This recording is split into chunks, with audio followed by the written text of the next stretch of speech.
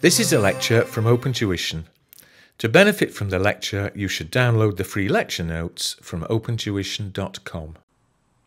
Well, back in chapter 22, we got introduced to the concept of groups within our area of study of corporate tax. There it was, we defined, for taxation purposes anyway, two types of group. They were 51% groups and 75% groups. Depending upon that share ownership that the parent company had within the subsidiary company, various things either had to be done or could be done. There were claims and elections.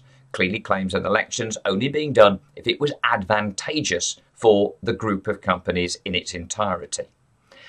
We saw there, for example, that in the particularly interesting area of 75% groups, we could have group relief of losses made by one group member, and we were able to group relieve any part of that loss against any part of another company's uh, uh, uh TTP, their taxable total profit there.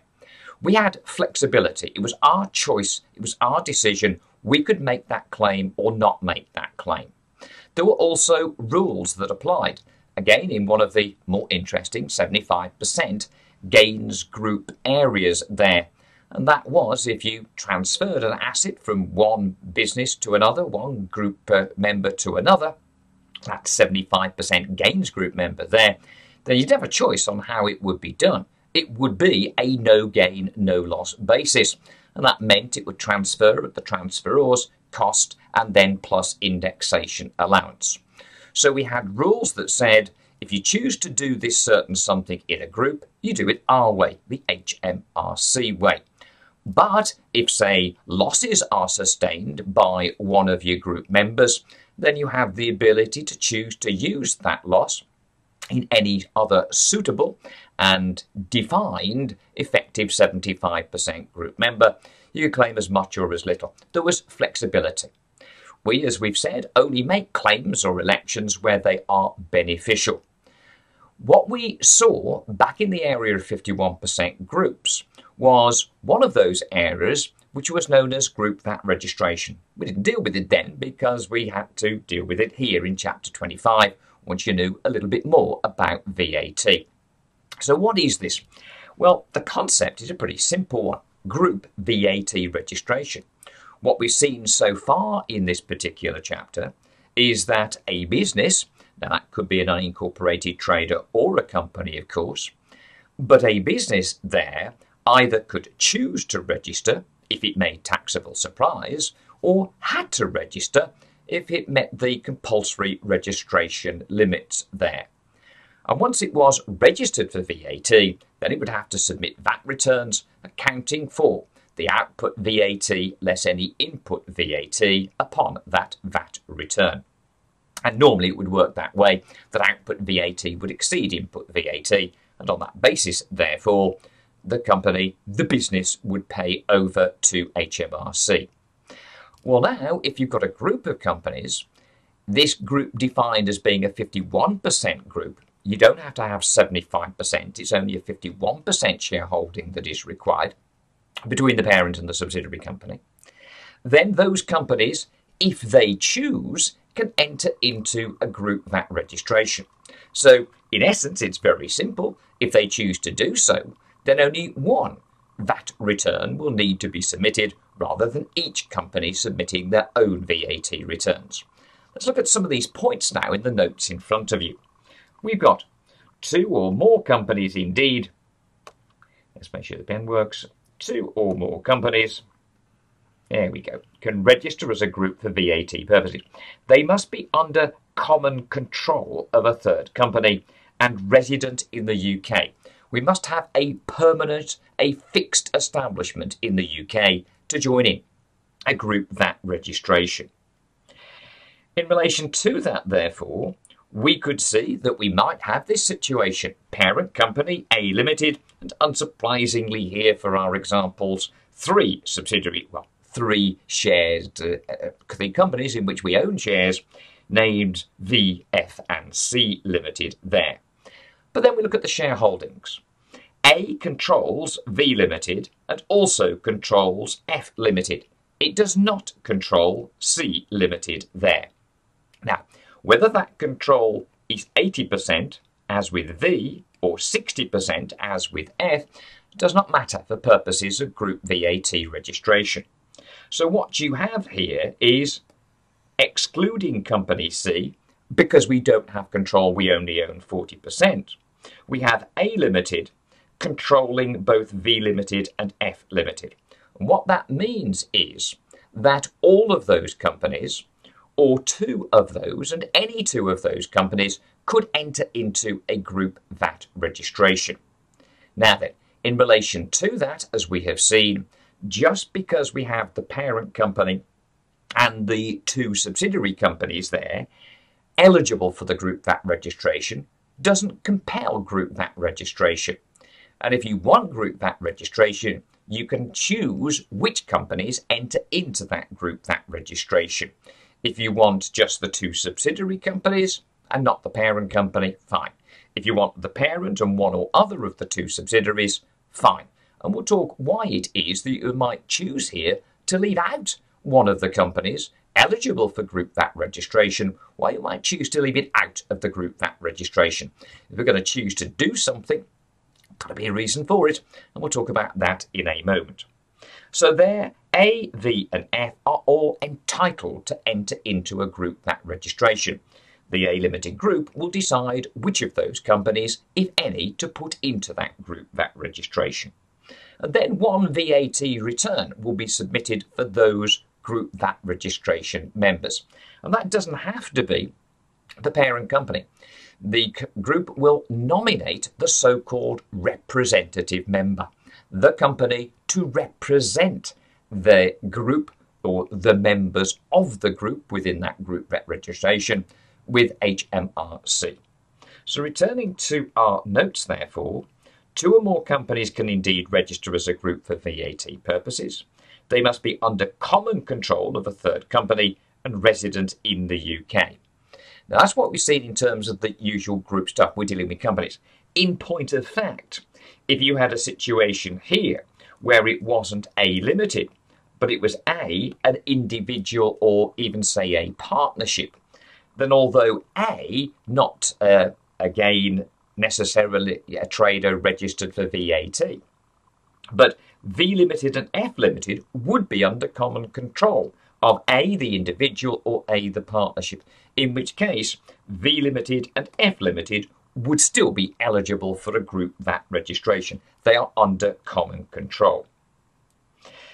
Once we have defined who is eligible, el- eligible, eligible and chosen which of those eligible companies, or companies indeed, that we would like to be within the group VAT registration, then for those companies, the group is treated for VAT purposes as if it were a single company, registered VAT on its own.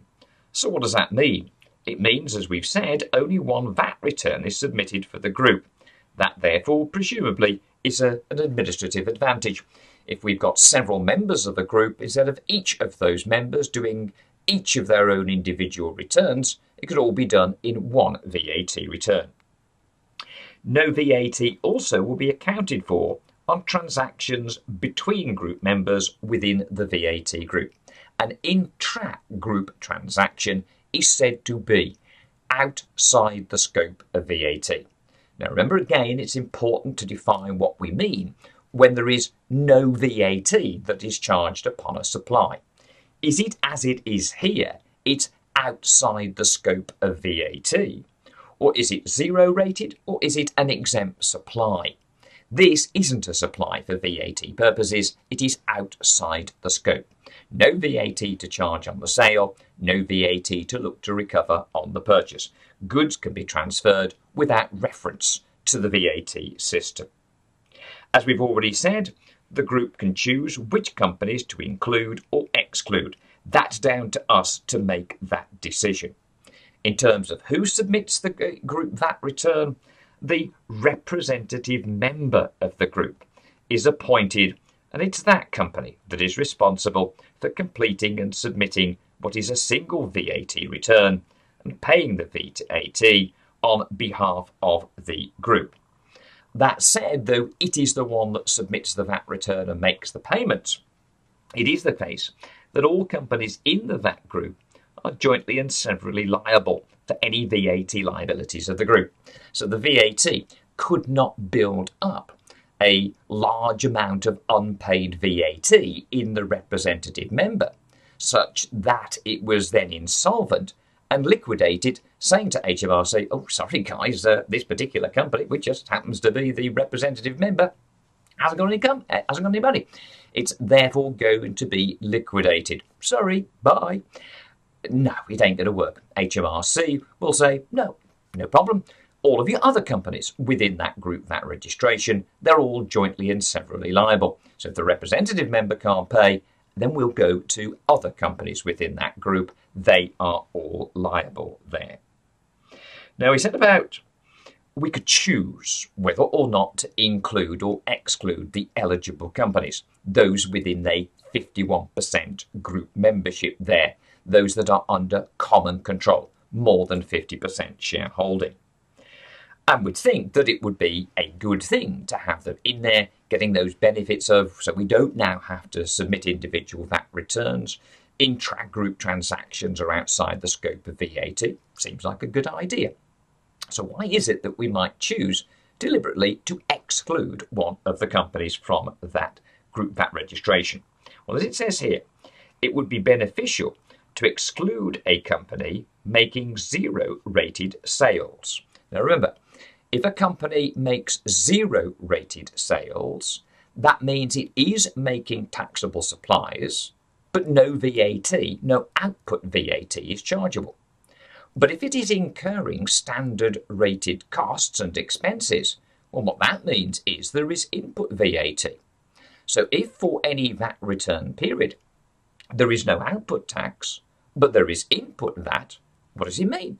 It means, therefore, that HMRC pay you. You get money back from HMRC. That begs the question of, well, how often would you like to get that back? And you'd like to get it back monthly rather than the usual quarterly. So, on that basis, you may choose to submit monthly returns. Why would you choose to have that extra administration? Because you get cash coming into your bank account every month rather than waiting until the end of the quarter before you get that repayment from HMRC. So you may well consider, and certainly would, if the numbers the amount of uh, repayment from HMRC was considerable for such a company, that if it made those zero rated supplies but had standard rated inputs, then let it continue on a monthly return basis so we get repayments from HMRC every month. While all the other companies in the group, or those that we choose to be in it, we will submit a group VAT return on a quarterly basis, so we'll pay them quarterly. Good idea.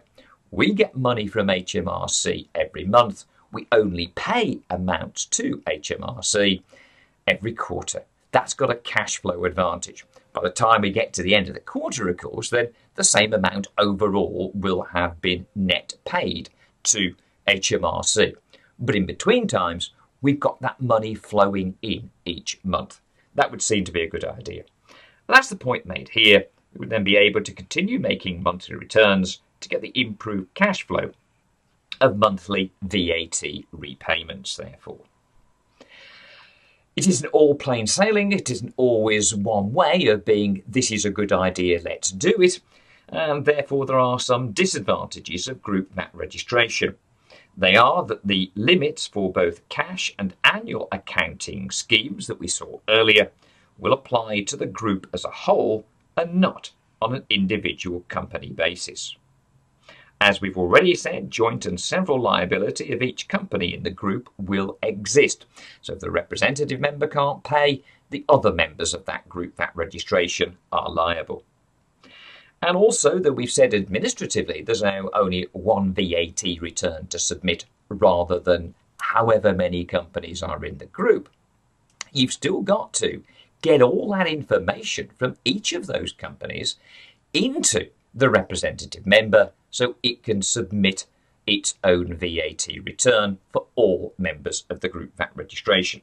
So, possible admin issues collecting the information that is then to be passed on to the representative member. So there we go, an option available when dealing with, usually within a group as we would know it, where at the apex, the holding entity who owns the shares in those companies is indeed a parent company there. That leaves just one further area to look at here, and that is UK businesses trading within and outside the European Union.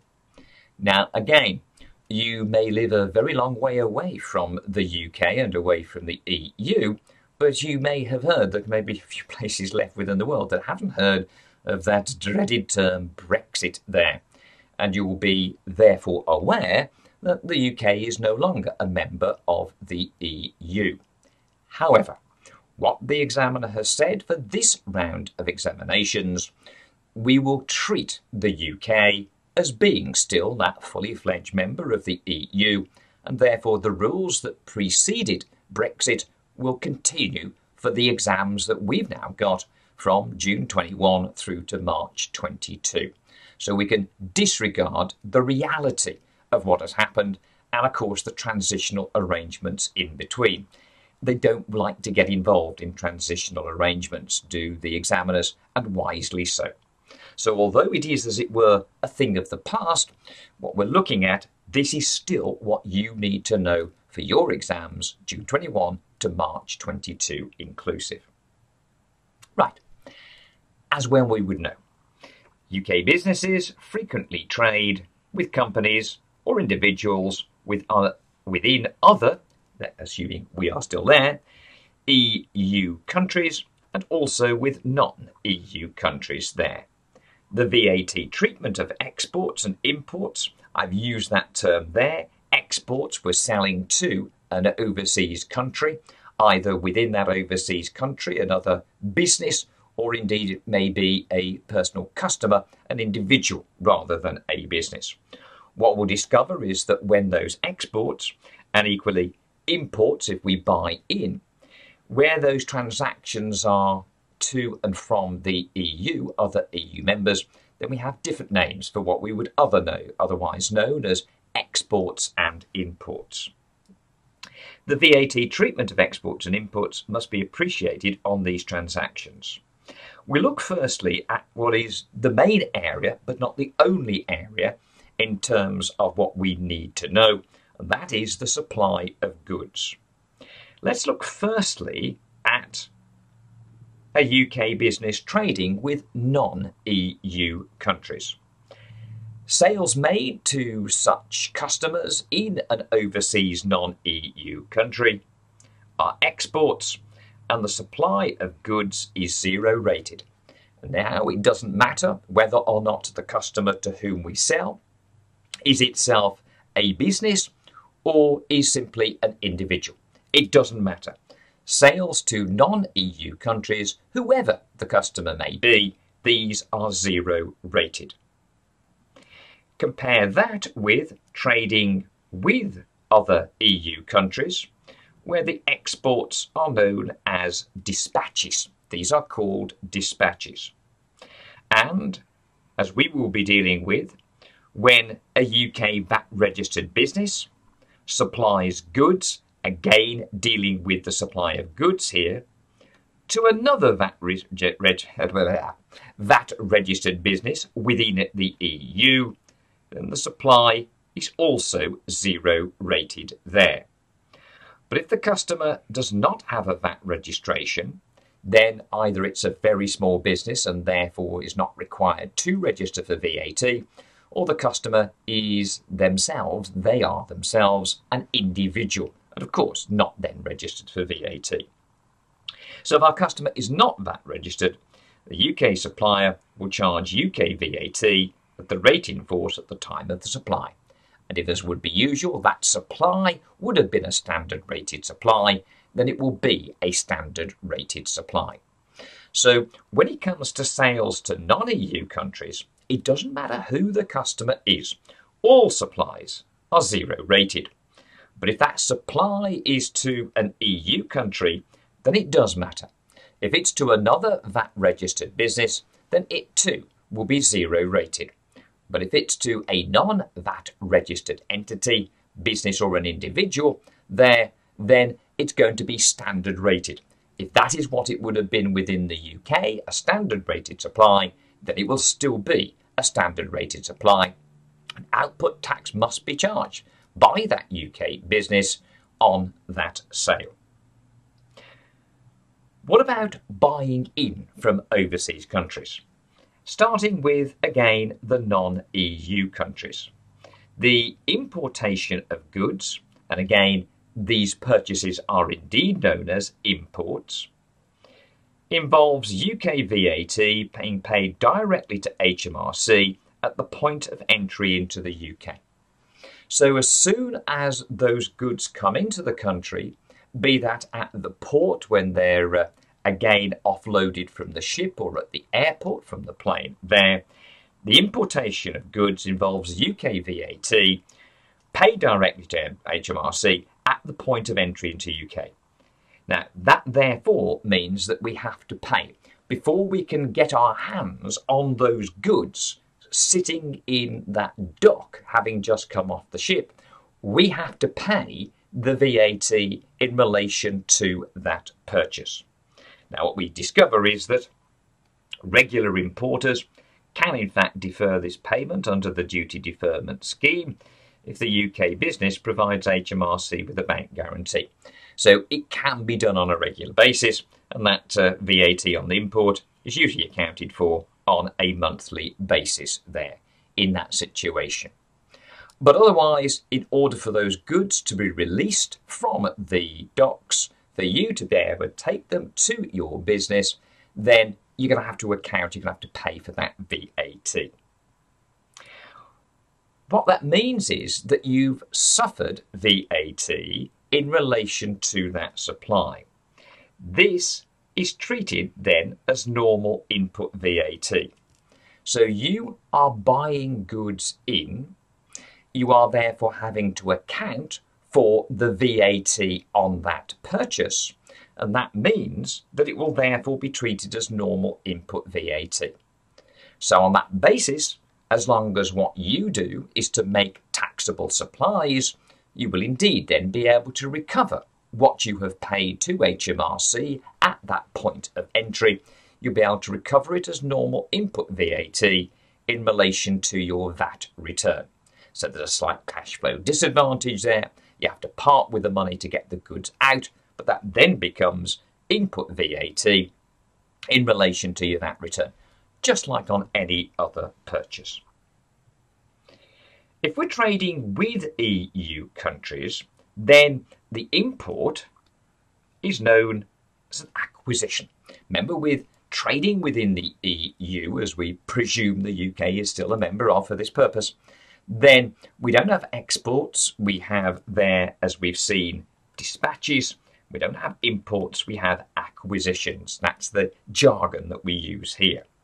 And this is Again, probably the trickiest bit to get your head around, but it's actually good news so far as the UK business is concerned in terms of having to account for VAT on any transaction as regards a purchase.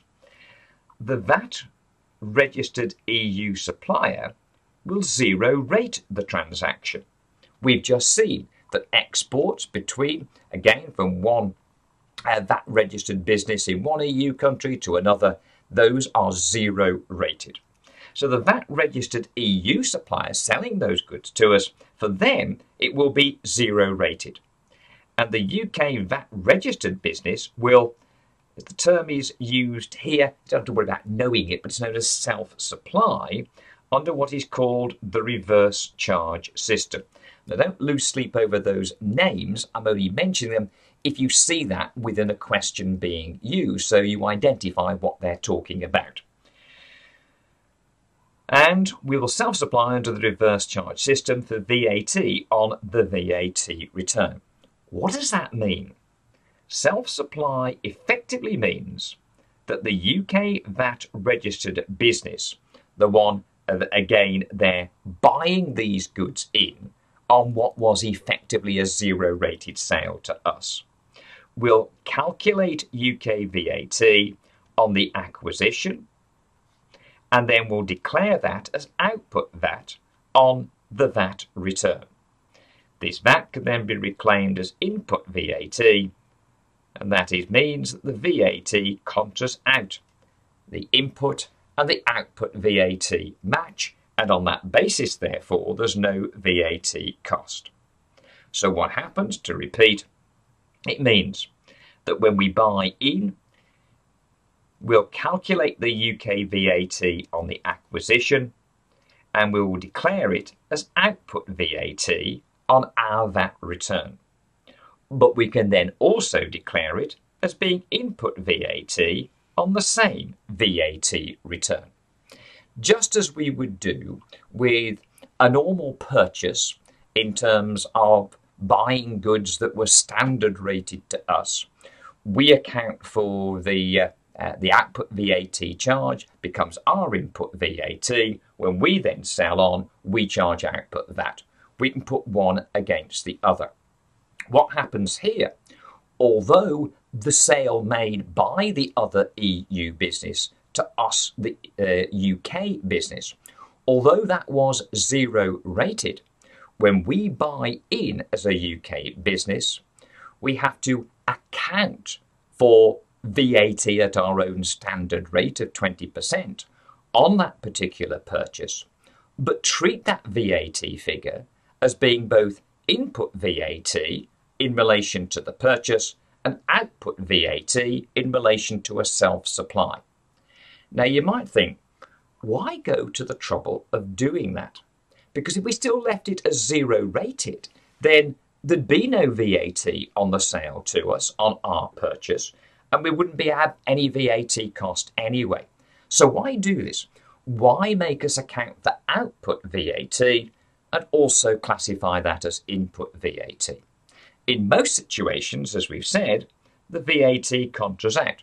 The output, the input are the same. There's no net cost involved to the UK business.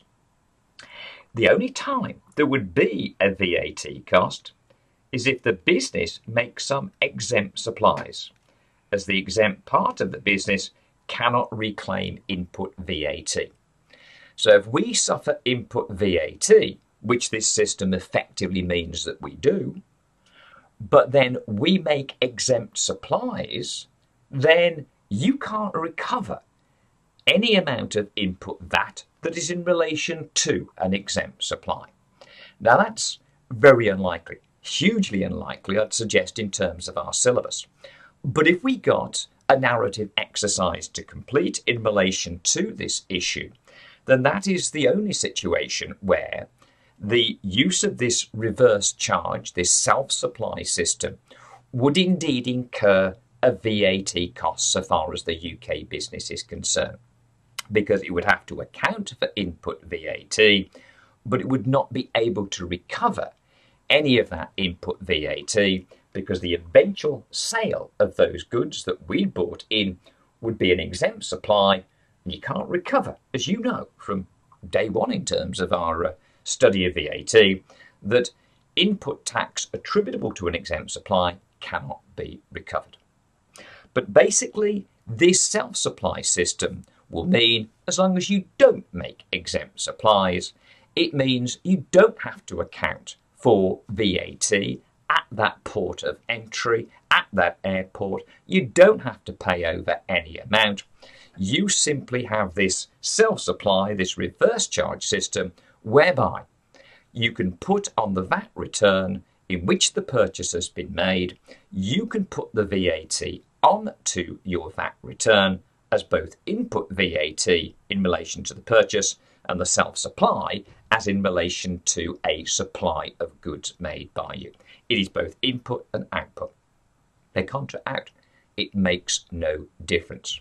HMRC makers do that because it is the case that if a company, as we said, did make the UK business made exempt supplies, that means that any and all input tax attributable to that supply is irrecoverable. So if we just ignored it, if we said it was outside the scope of VAT, if it was just zero rated and we didn't have to account for any input VAT, then HMRC would be worse off. So they have that there. They make us do it this way. For most businesses, we don't have to pay anything out. We simply record on the VAT return.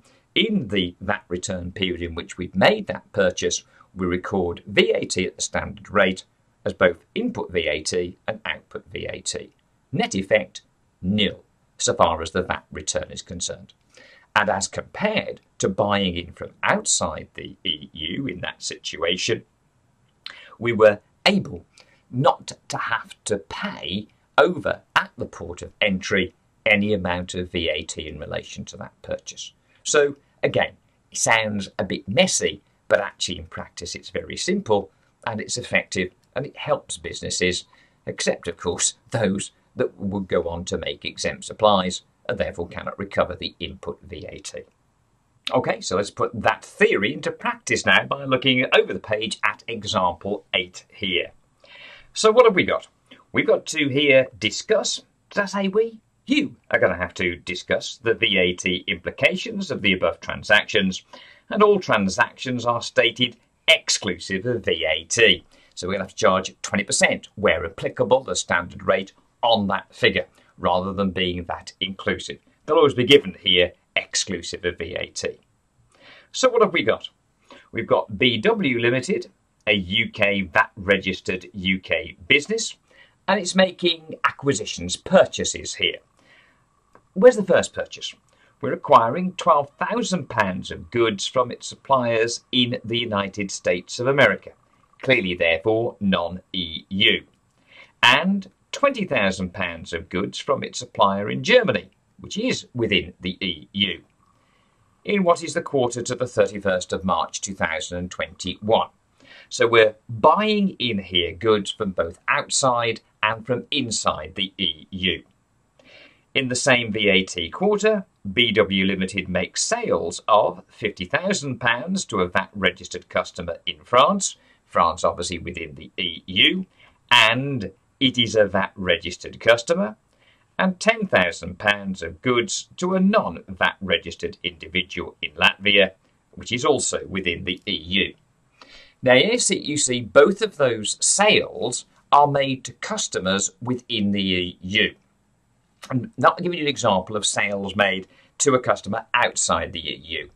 If I had, then it's very easy because all sales or exports made to non EU customers outside the EU, that means whether they are businesses or whether they are individuals, it doesn't matter. All of those sales would be zero rated. We only have a difference in terms of any possible VAT to charge in relation to one of the types of supply that you see here made to an EU customer. Now, the two EU customers you have, the two possibilities you can see, they of course are to a VAT registered customer in France. That therefore, therefore, another EU business. It is to a business consumer, a VAT registered business, whereas this one to Latvia is non VAT registered individual. Now, as we know, one of those is zero rated and one of them isn't. You have to try and remember, or at least look back at your notes, to find out which of those it is. And that should be a simple exercise. So there will be output VAT to uh, account for in relation to one of those sales, but not the other. The more interesting situation is when we deal with our purchases. And we're told, as we have seen here, that we acquire £12,000 of goods from its suppliers in the United States of America, non EU. So we're buying at a VAT exclusive, as it would be, figure of £12,000 from an American supplier outside the EU. So where we buy in from outside the EU, in order for us at the airport or the port, however they have been shipped in to us, for us to get our hands on those goods, then at that point of entry, we have to pay the VAT, subject to the duty deferment scheme, allowing us to do it on a more regular basis, given a period of credit there. But otherwise, we have to pay in order to acquire those goods to be able to put them on our lorry and take them back to our business. In relation to the supply there from the Germany, the EU business, then of course there is no cash that will change hands. That those goods coming in from Germany will be able to pass through the point of entry, the port of entry, the airport of entry, wherever it might be, without having to account for any VAT in relation to that particular purchase. In relation to that, what then happens as regards we've made that purchase, we don't have to pay anything at the point of entry. There's no cash that needs to be laid out here, but we do need to account for VAT. On the VAT return, for the period in which that uh, import, that sorry, that purchase was made, that acquisition was made. So you've got to here sort out what happens in relation to the sales. One is stand, sorry, one is zero rated and one is standard rated. And what happens in relation to the purchases, where we are going to have to account for VAT to pay VAT in relation to both of those transactions. One is an actual payment at the port of entry, and the other is no such payment, but we need to account for the VAT on our VAT return. And when we account for it, it was that reverse charge system. So that wasn't a single entry onto our VAT return, it's two entries onto our VAT return at both input and output VAT, which should therefore contra one another out. But it can't be ignored, that has to go on the VAT return. Okay, I've given you sufficient clues therefore. If you now uh, just pause at this particular point in time, write out your answers. You can do it briefly, but don't just read the answers. Write it out, or at least test yourself on it. Don't just read the answer or wait for me to talk you to that answer. You do it for yourself there. Test yourself out on every occasion. So pause now, and then I'll talk you through that. So let's see what we've got therefore in relation to those transactions. Firstly, in relation to the uh, disposals that have been made there, again, let's make sure that the pen works. We have got well, what I've referred to as the export here of £50,000 of goods to the VAT registered customer in France will be zero rated. We know, of course, that these are known rather than as exports as dispatches but export in a more general term of making a sale to an overseas country.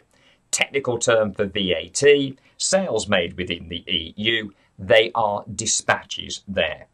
And that, where it is to the VAT registered customer, will be zero rated. As it would have been if we'd made any sales to any non EU customers, whether they were businesses whether they were individuals wouldn't have made a difference. They would all have been zero rated.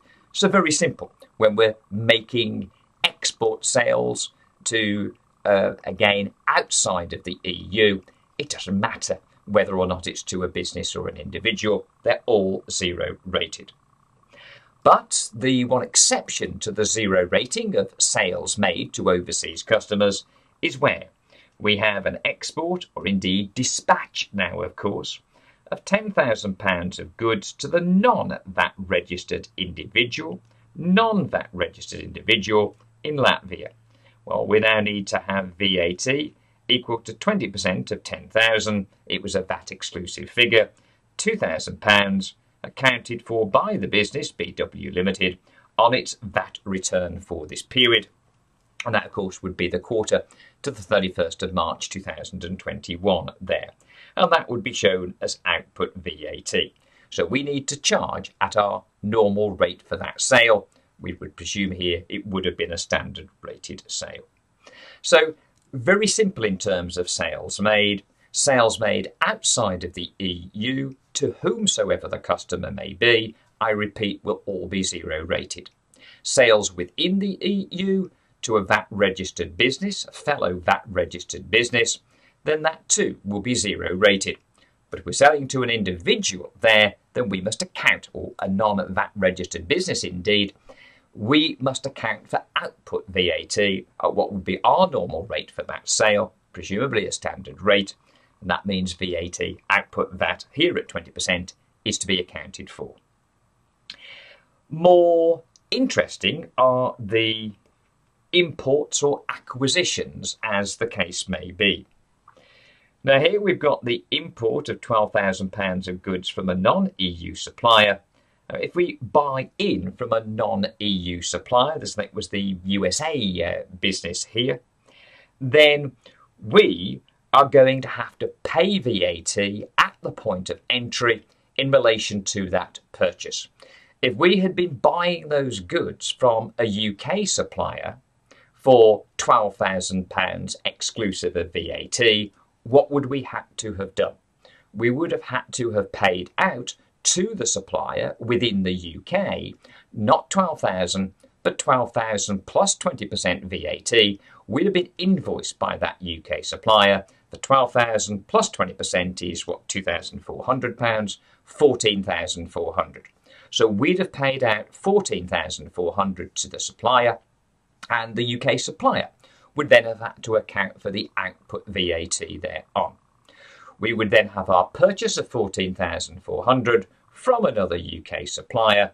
Our net cost was 12,000 and we would recover as input VAT the 2,000 pounds sorry 2,400 pounds of VAT on that purchase. If we buy in as we have done from the American company, they invoice us for £12,000. We pay them £12,000. Now, that would mean we could buy in from overseas at 12000 and if we bought from the UK, we'd initially have to pay 14.4 before recovering the input VAT. So it doesn't work that way. So what happens is, on that purchase, in order to get our hands on the American goods that we bought at the point of entry, we have to pay the VAT and that therefore would be £2,400 being paid to HMRC at the point of entry, assuming, as we've said, that the duty deferment scheme is not in place, that would allow those goods to be taken without the immediate payment at the port of entry. Point of entry. This can be recovered as input VAT on the VAT return, just like then as if it had been a purchase from a UK supplier there we would have paid the UK supplier the whole 14.4. They would have accounted for the VAT on the sale to us. We buy in from Amer- America. We pay the American supplier £12,000. We then have to pay the 2,400 VAT directly to HMRC. But that then shows as input VAT on our VAT return to be, of course, then set off against any output VAT on our sales. The more awkward one is where we buy in from an EU supplier. The import or acquisition, as it would now be, of £20,000 of goods from the EU supplier will involve this so called self supply and the use of what is referred to as the reverse charge system. A self supply of output VAT of 20,000 at 20%, £4,000 being accounted for by BW Limited on its VAT return for this period. Again, the VAT return, the quarter is to 31st of March 21. But as well as showing it as output VAT, however, assuming B limit, sorry, BW Limited makes wholly taxable supplies, which they will in any question you see, the same amount of £4,000 can be recovered as input VAT. So there we go in relation to the £4,000. Uh, it's accounted for there. We involve a self-supply. We've got output VAT, self-supply of acquisition from EU supplier, £4,000. It can also be recovered input VAT on the self-supply of acquisition from the EU supplier. So 4,000 cancels out. But we have to, that we can't, we must not just ignore it. The net effect here is zero and in 99% of cases will be zero. But as I've said to you, but you do not need to know, the reason why we have to do it this way is if we eventually made exempt supplies, then that means that any input tax that we have suffered in relation to those exempt supplies, we are unable to recover. So, in order, therefore, to make sure that HMRC don't lose out on any VAT amounts, they therefore have this system. you have to account for what is taken as output VAT, and as long as you make taxable supplies, you can then recover the self same figure as input VAT. And you're back to square one. Okay, that means that there is only one other thing left for us to now consider, which in certain circumstances in practice, and especially as so much is electronic these days, can be a problem, but is not a problem so far as our syllabus is concerned. That is the supply of services. And here, it doesn't matter whether our customer is inside or outside of the EU.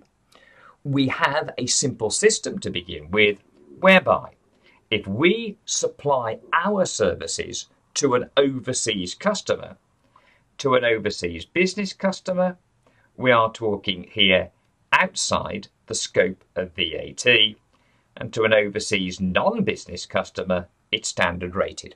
Whether that customer is in the EU or not in the EU doesn't matter. All that matters is where they are. Overseas business customer, outside scope of VAT, overseas non business customer, standard rated. Sorry, did I say where they are? All that matters is who they are there.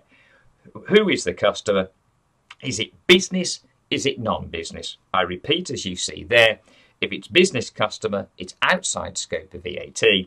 If it's a non-business customer, whether inside or outside the EU that we are supplying to, it is a standard rated supply. We must account within the UK for output VAT on that supply.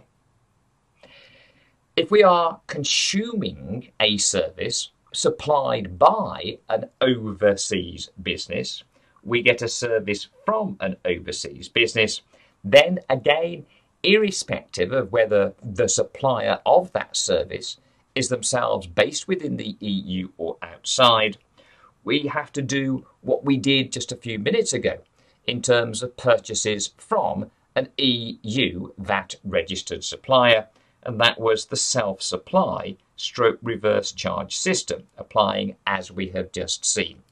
So we have to account for what is output VAT, in relation to the supply of the service to us. That's the output that, that would have been charged by a UK provider of those services. We have to put that as output VAT in relation to this particular supply. But assuming that what we make is in turn taxable supplies, we'll be able to recover it as input VAT. So it's exactly the same as we've just seen in relation to the purchase of those goods from the EU supplier there, that, VAT registered supplier. It is exactly the same. So to repeat, therefore, um, in relation to the supply of services, it doesn't matter where the customer is. What matters is are they business or are they non business customers? If they are business customers, it's outside scope. If they're non business customers, then it is standard rated. If that supply, which it would have been, would otherwise have been standard rated. When we are provided with a service as a UK business from an overseas supplier, again, irrespective of whether that supplier is based inside or outside the EU, we go down the self supply stroke reverse charge system we have to account for what would have been the VAT charge had that been supplied by a UK supplier, and then treat that as output VAT, but also the fact that we've now incurred that as a cost allows us to recover it as input VAT, assuming that is that eventually, in relation to what we do as a UK business, that we make taxable supplies, then we can recover it as input VAT. Okay. That therefore uh, concludes the uh, chapter here on VAT and is of course the conclusion of all of our technical chapters. Uh, again, as ever, following those technical chapters and before you move on to the uh, missing pieces of things we haven't already covered from within chapter 26, there is of course the usual reading, review, practice that needs to be done. Please ensure that you do that.